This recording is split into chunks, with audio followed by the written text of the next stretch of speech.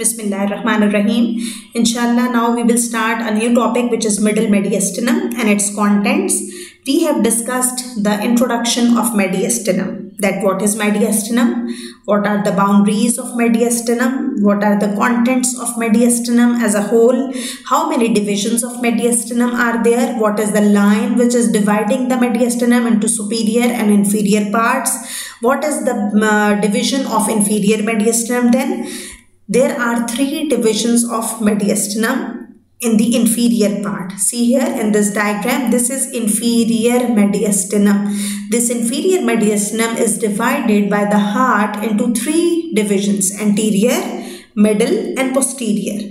Okay, in the middle part where the heart and great vessels are present, this area is called as middle mediastinum. So what are the contents? Number one is pericardium Number 2 is heart.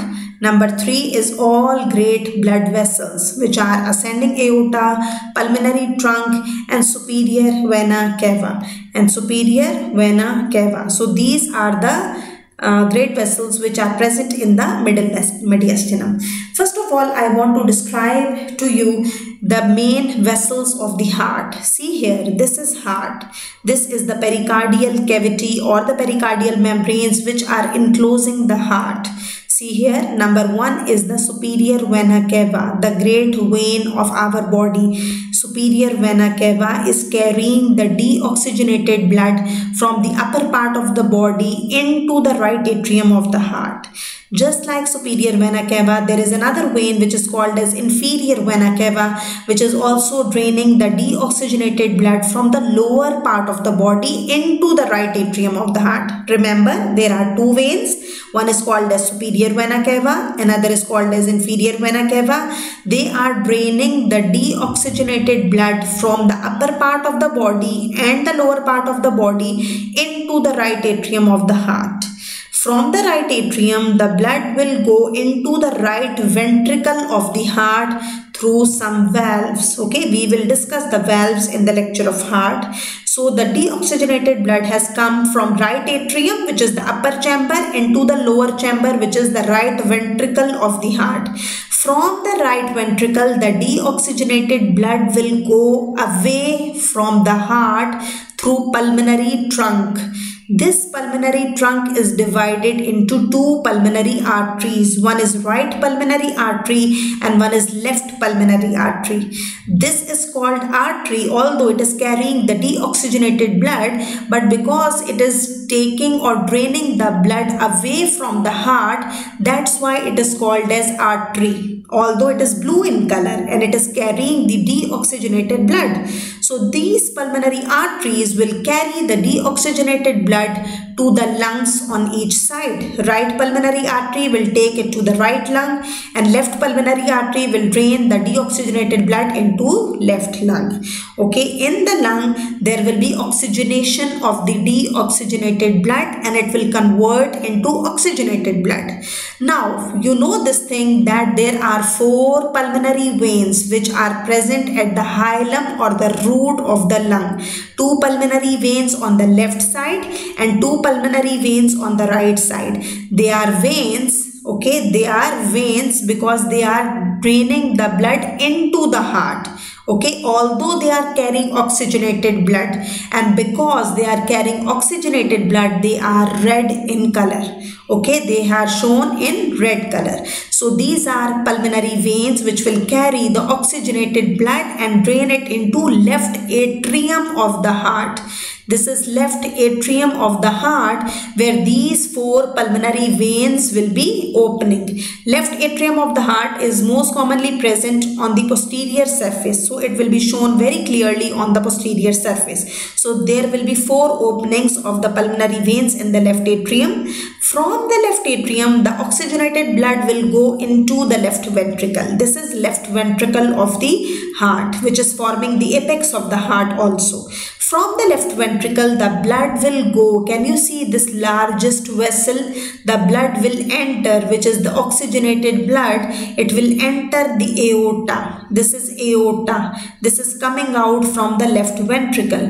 This is the largest vessel. It is draining the oxygenated blood to all over the body. To all over the body. This aorta has three parts.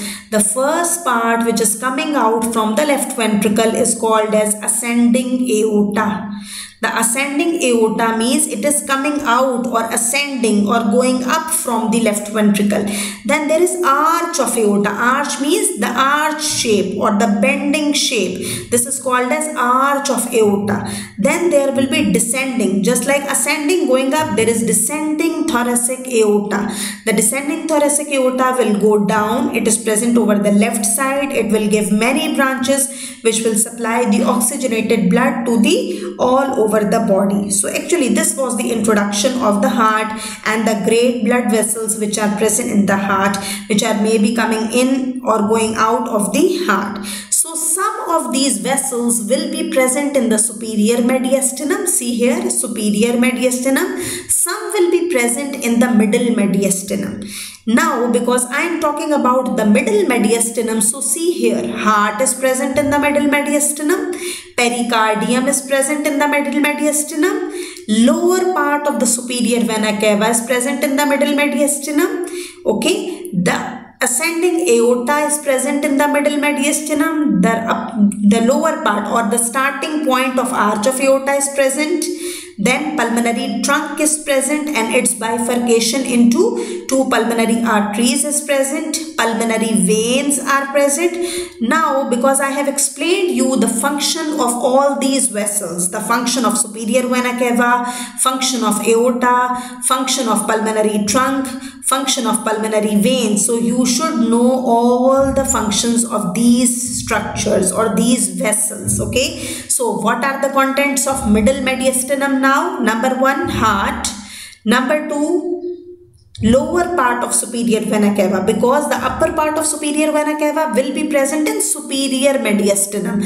Then the starting point or the ascending aorta, starting point of aorta or ascending aorta will be here, pulmonary trunk will be here and starting point of four pulmonary veins will be here in the middle mediastinum. So see here, heart, in arteries, ascending aorta, pulmonary trunk with two branches, right and left, lower part of the superior vena cava or the starting point of the superior vena cava, four pulmonary veins. Along with the arteries and veins, there are two nerves which are present in the middle mediastinum. These are phrenic nerve and vagus nerve. Remember here, this is right vagus and there will be left vagus nerve here and there will be phrenic nerve also. See here, these are the phrenic nerves which are present in the middle mediastinum. Along with the nerves, veins arteries, there will be bifurcation of trachea. The point of the bifurcation of trachea is called as carina. It will divide into two principal bronchi because there are two lungs. So two principal or primary bronchi will be there. Along with this bifurcation, there are tracheobronchial lymph nodes pericardial vessels and phrenic vessels are present in the middle mediastinum. Again, what are the contents? Heart, pericardium, see here, this is heart, pericardium, this is the lower half of the superior vena cava, this is ascending aorta, there will be bifurcation of the trachea, there is pulmonary trunk, this is pulmonary trunk and its divisions into right pulmonary and left pulmonary artery, then there will be four pulmonary veins which are two right pulmonary veins and two left pulmonary veins. Then there will be phrenic nerve. See here this is phrenic nerve. Then there will be vagus nerve also which is forming the deep cardiac plexus. The vagus nerve will form the deep cardiac plexus. All the vessels that go in and out the heart are included in the middle mediastinum Again, this is the revision. What is middle mediastinum? Between anterior and posterior mediastinum. What are the contents? See here, this is heart. There will be pericardium which is surrounding the heart. This is ascending aorta. Can you see ascending aorta here? This is ascending aorta.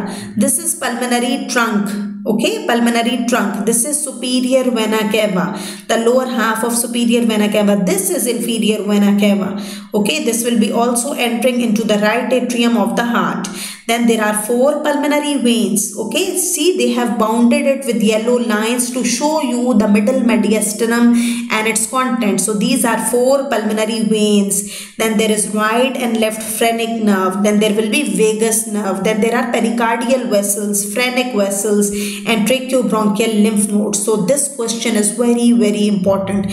Learn it by heart that what are the contents of middle mediastinum? Assalamu alaikum